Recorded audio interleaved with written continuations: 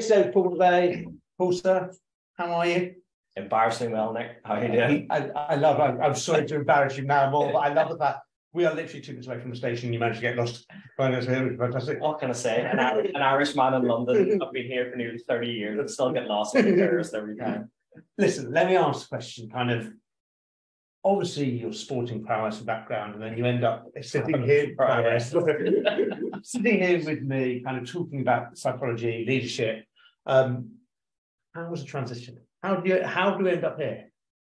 Well, it's funny. I don't even think there is a transition. I think that it's it's always been there. It's well, not only has it always been there for me, it's always there for everybody. Hmm. You know, the, the one thing we carry around with us the whole of our lives is, is our mind and, and our thinking and our thoughts. And uh, interesting when, when I start to talk about and think about when I was a kid and growing up in Belfast, which, you know, in the troubles in Northern Ireland in the 1970s and 1980s, just to try and paint a picture for people who may not be aware of it. Yeah. It, it was literally tanks driving down your street. There were soldiers walking past you, you know, with their rifles. Yeah. And if you're walking to school and sometimes you get one across the back of the head, there was bombs going off on a daily basis, and that's your normal. Yeah. And so the way you think about things is that's what I've been carrying through my life until I was 16. Literally came across on the boat to join Tottenham Hotspur in Yeah. 1994.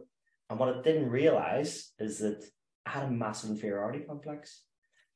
I- I through no fault of my own, nothing to do with my parents. For I don't know why it happened, but I clearly did because on my first day, I met this global World Cup winning superstar Yeah. called Jurgen Klinsmann, and it was that automatic belief system of me looking at this World Cup winner and thinking, if my first day at Tottenham Hotspur, I'm aspiring to get in the first team to be a professional footballer, and if that's what my target is, there's no way in the world I can ever do that. So I didn't realize I had this inferiority Mm. complex, this massive limit in belief.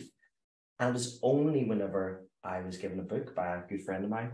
Um, the book was Awaken a Giant Within, written by Tony Robbins. So again, Yes. absolute classic in the in the world of personal development. And reading that book as a 17 year old kid, you're thinking, A, why did I take the book and not just throw it over my shoulder and throw it in the corner because I'm a 17 year old Yeah. footballer? Uh, yeah. Why did I read it? Not only did I read it, and if you want to sum up this this big 500 page book, it was pretty much stop looking outside of yourself Yeah.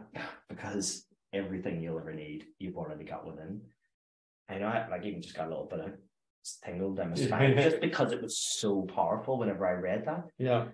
And then not only did I read that, take that message from it, I then started planning it and started writing goals for myself and what do I want to get in my career Did you talk about it to others while you're doing No. this? It was just for you. just for me. And this was the interesting thing because then he started asking things like, "What do you? What can you do that you're not currently doing?" So Yeah. it's a bit like if you want to completely change your outcomes and your results in life, you need to completely change your behavior.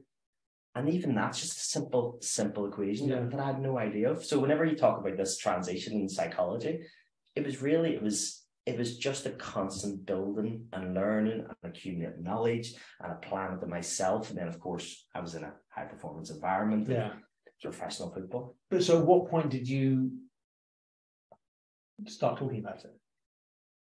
Well, that that mm. was the tough part. Yeah. Because it is a it's an environment. And listen, I think because obviously I've been doing a lot of work in the last 15 years in in the corporate world, it happens and probably the same conversations are happening more at the senior levels mm. where nobody wants to show weakness. Yes. Nobody wants to show the fact that they've got doubts or issues or challenges. And it takes a really, really strong person to show that weakness, if that's what you want to call it, more vulnerability. Yeah. So it was only whenever I got to about more 20 or 29 and I felt much more comfortable in myself. I was a senior member of the team and I realized I was coming out the other side of the Yeah. career. And so when I did stop at 32, it was actually, we had a sports psychologist, a guy called Gavin Drake, who Mm. worked with us in Norwich City. And whenever he suggested that I go straight from football straight into this world of, you know, corporate training and speaking and keynote speaking, A, I didn't even know what a keynote speech was. yeah. I'm like, what? And then whenever he told me about what you could do, and, and and once I started looking into it, I also couldn't believe why there was nobody from my background Mm. had ever done this before. It, it, it, it does fascinate me. It's weird, isn't it? You've got you've got rugby players, you've got athletes, you've got Olympians. Military, academics. Well, and I, we've had this conversation, and it's a perception of It's perception of purpose. Absolutely. And again, this was probably another reason why, I don't know if you want to call me weird or not, but whenever reading that book at 17, but also by the time I was 21, Yeah. I'd already decided that I wanted to write a book. I wanted the title to be The Stupid Footballer is Dead.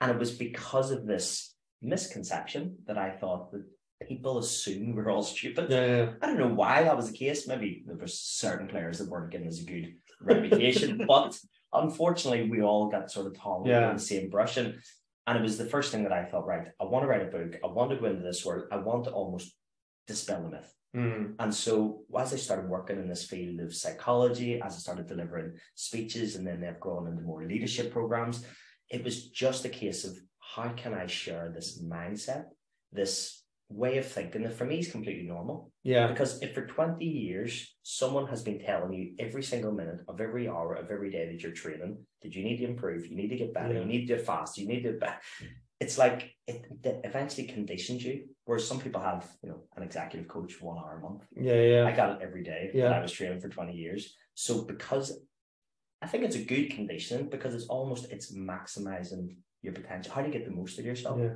But what's really interesting, Nick, is whenever I talk about these things, I don't say it because people want to be a professional footballer.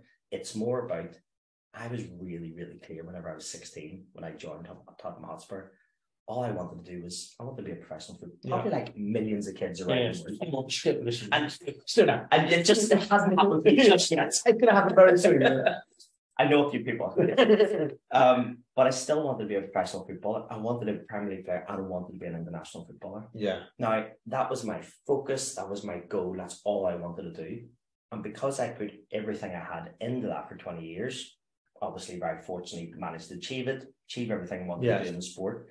And then when I came out of professional football, because Gavin almost mentored me and, and it was like a seamless transition in Yeah. world of keynote speaking. And then because I had, well, why has there never been a keynote speaker from football? Yeah. It's the number one sport in the country, number one sport in the world. And I was like, why can't I do this? So that was now my next goal.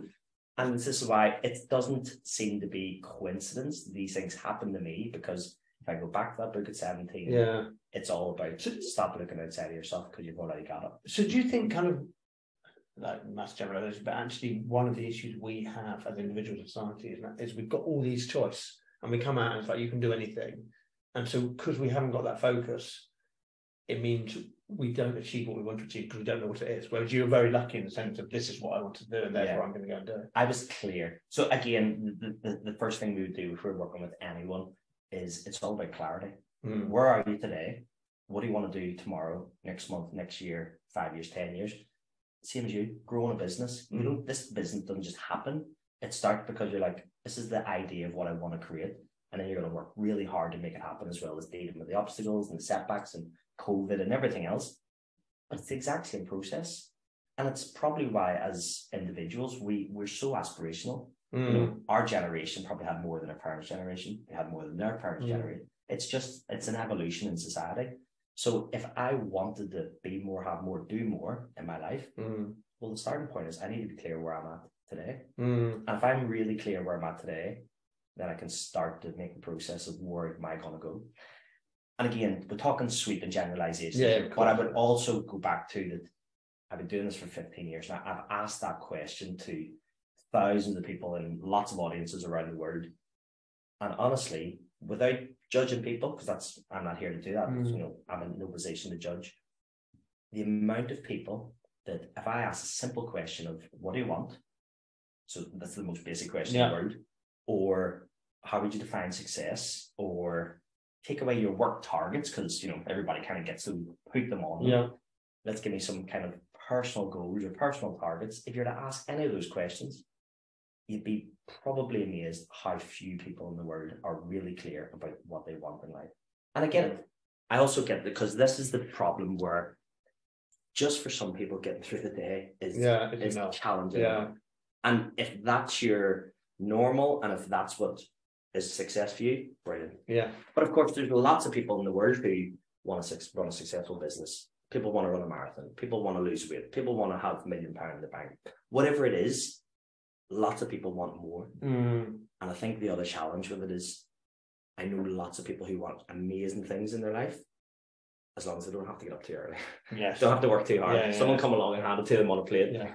And of course, it doesn't happen because we know that if you want to do anything in life, it's not just about having a clear path, it's not just about dealing with setbacks. It's that relentless Mhm. working towards it and keep going. And actually, even when you get to the point of where you think you might be successful, whatever success looks like for Yeah. you, that probably won't be enough anymore. Yeah. Because some of us are just on this continuous journey of of setting worthwhile goals for, us, for Yeah. ourselves. So even now, for me, all I wanted to be was a keynote speaker Yeah, 15 yeah. years ago. And now the fact that I do it around the world, Well, we're that's just, not we enough we're just talking about camera. it's not enough because I want to be Yeah. not just a keynote speaker. I want to deliver global leadership programs for the biggest organizations in the world. Some people think that's a crazy idea. Why would this kid from West Belfast Yeah, be yeah. do leadership programs, you know, for the biggest companies in the world? Well, I feel like with the team, the world class team we have, we can provide a new way of thinking, exposure to world class people that, let's be honest, most people have no idea how they exist and work. Thank you so much. Aside from the fact you've given me that little bit of hope and the fact that I still I'm a professional footballer, which I just don't believe. It's been it's been an absolute pleasure speaking to you. Thanks so much for your time. Cheers, Paul. No matter. Thank you.